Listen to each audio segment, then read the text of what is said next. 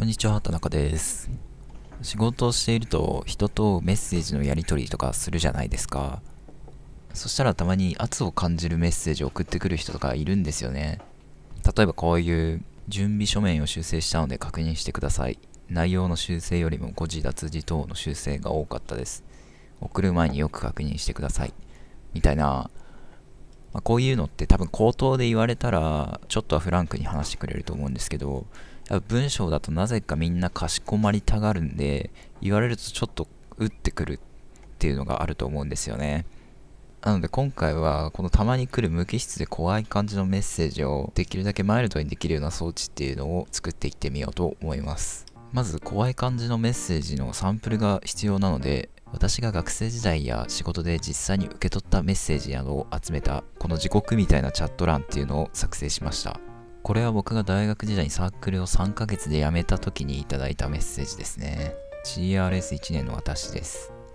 諸事情で CRS を辞めようと思います。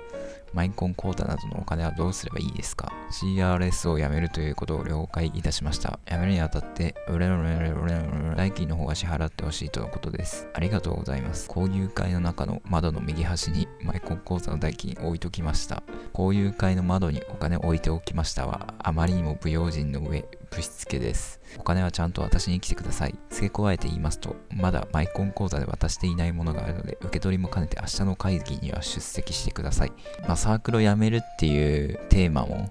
相まって結構ギスギスした感じのメッセージですよね。まあ、他にもこういうのとか、こういうのとか、まあ、いくつか創作も兼ねて結構ギスギスしたメッセージっていうのを集めてきました。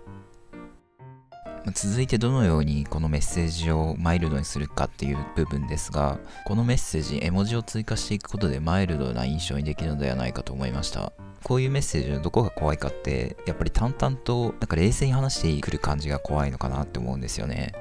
チャットツールはブラウザで見ることができるんですが中身がこういう HTML というソースで書かれているんでこのソースを書き換えることができれば絵文字を挿入することができます。今回はそれを自動化できる Chrome の拡張機能を作っていこうと思います。Chrome の拡張機能は JavaScript で作れるので検索してそれっぽいものを持ってくれば割と簡単に作れてしまいます。これは先ほどの HTML で正規表現で句点を検索して絵文字に割り当てられたコードに置換をしているだけです。HTML では絵文字は特殊文字なの文字ごとにコードが割り当てられています。作成した JavaScript をこの Chrome のパッケージされていない拡張機能を読み込むというところで読み込んでいきます。そしてこのチャットの画面を更新するとこんな感じで句点が絵文字に置換されました。まあ、最初よりはマイルドになった気がするんですけど、絵文字が1種類だけなんでちょっと煽られてるようにも見えますね。なので次は奇数個目の句点はパーの絵文字、偶数個目の絵文字はハートにすることによって絵文字のバリエーションを追加してみました。先ほどよりもよりマイルドさが増したことがわかります。続いて絵文字をどんどん追加していきます。奇数個目の開業にお辞儀をする人、偶数個目の開業ににっこりを入れます。さらに当点を音符に置換していきます。絵文字の種類が増してかなりマイルドさが増したように見えますね。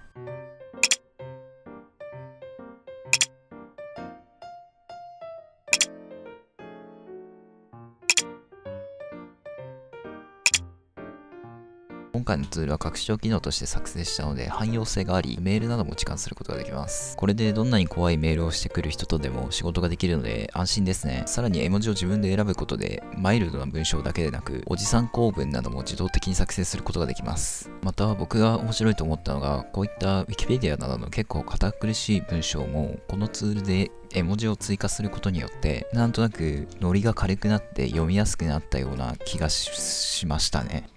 まあ、なので意外と実用性もあるのかなと少し思いました。まあ、改善点があるとすれば文脈をあんまり読んでないんでそこら辺をあれですかね以上です